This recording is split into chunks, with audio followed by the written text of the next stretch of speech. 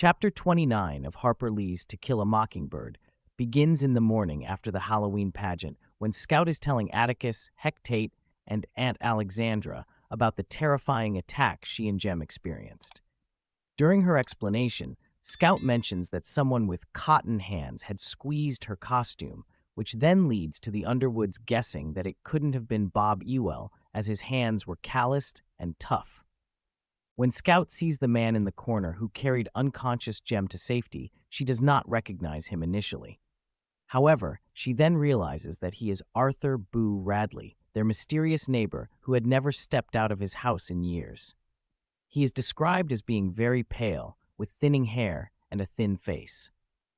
Scout's initial nervousness regarding Boo subsides, and she finds herself not afraid of him anymore, despite the many horrific stories that she earlier heard about him.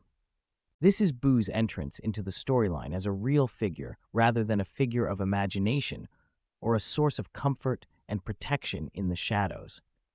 After Scout identified him, she openly admits, Hey Boo, thus treating him like a normal person rather than a ghostly entity, even though this was the man she and Jem had been so frightened of their whole lives. Meanwhile, Sheriff Tate tells Atticus that Bob Ewell was found dead at the scene of the struggle with a knife stuck under his ribs. Scout understands that Boo Radley must have been the one who saved her and Jem by killing Ewell.